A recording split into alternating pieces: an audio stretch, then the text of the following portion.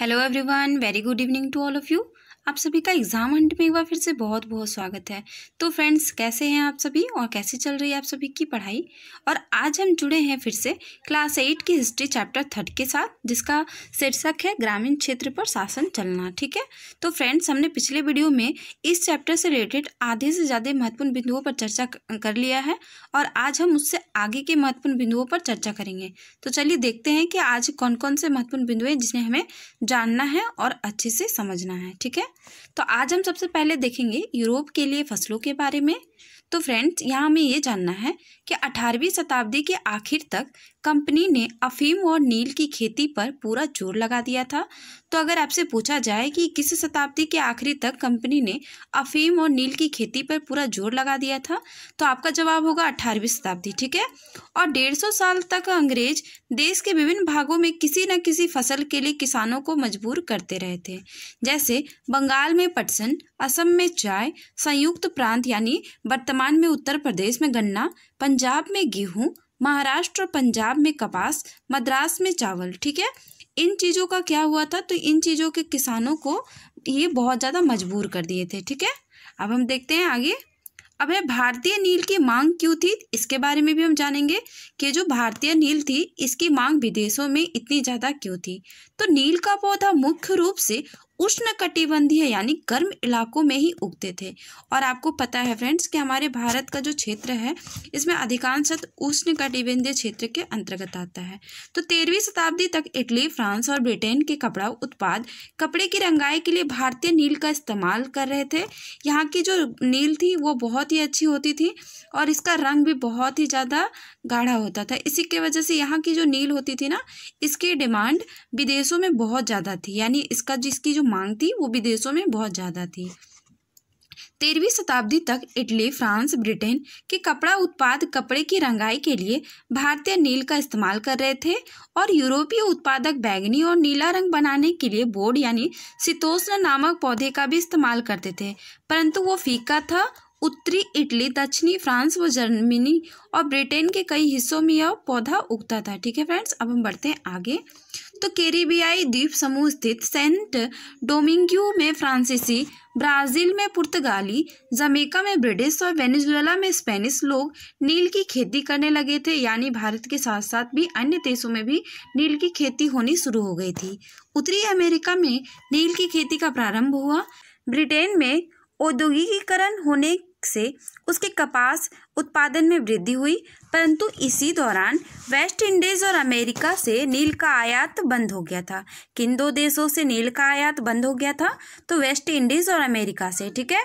सत्रह से सत्रह के बीच दुनिया में नील का उत्पादन आधा रह गया था, जिसके कारण भारतीय नील की मांग बढ़ी थी। अब फ्रेंड्स, हम आगे देखते हैं। तो ब्रिटेन द्वारा भारत से नील आयात सत्रह में तीस प्रतिशत, जबकि 1810 में पंचानवे प्रतिशत हो गया था। यानी सत्रह में यह सिर्फ़ तीस प्रतिशत था और 1810 में यह क्या हुआ?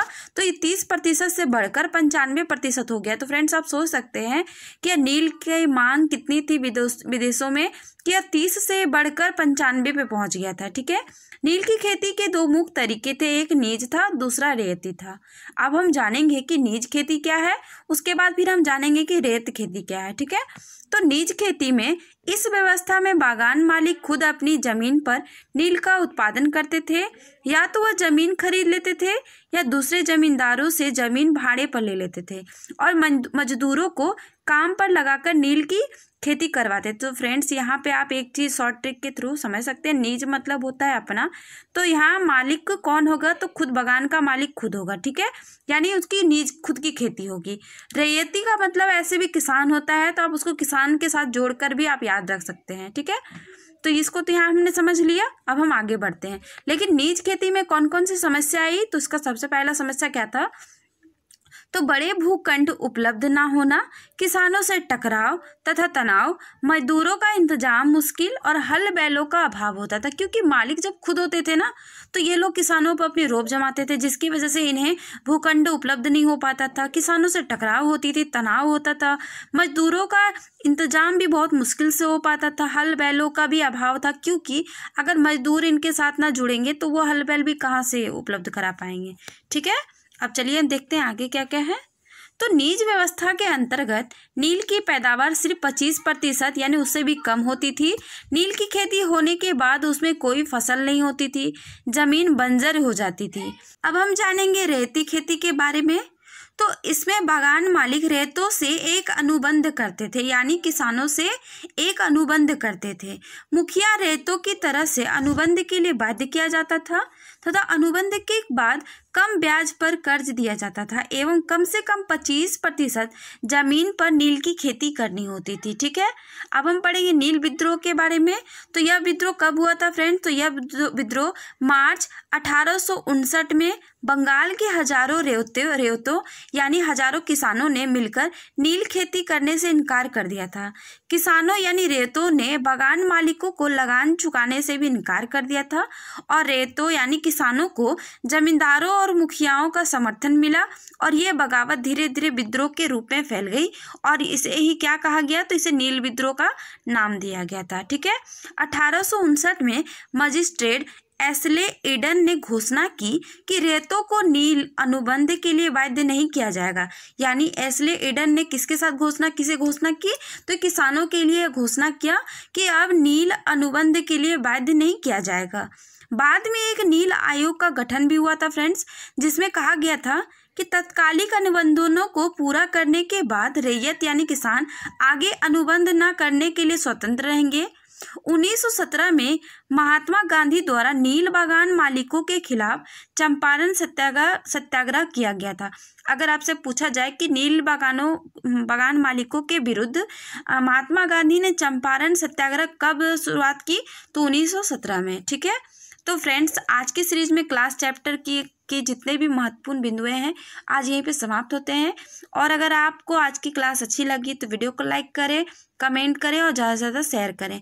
और अगर आप नए लर्नर्स हैं तो हमारे चैनल को सब्सक्राइब करें, बेल आइकन को प्रेस करें। इससे आगे आने वाली हर वीडियो की नोटिफिकेशन टाइम पर मिलेगी और आप समय के साथ क्लास से जुड़ जाएँगे। ठीक है? और अगर आपने अभी तक हमारे सोशल मीडिया हैंडल्स को फॉलो नहीं किया है तो आप हमारे सोशल मीडिया हैंडल्स को फॉलो कर सकते हैं और इसकी लिंक आपको डिस्क्रिप्शन बॉक्स में दी गई है। तो फ्रेंड्स, आपका हमारे साथ बने रहने के लिए बहुत बहुत धन्यवाद। Thank you friends, thank you for watching.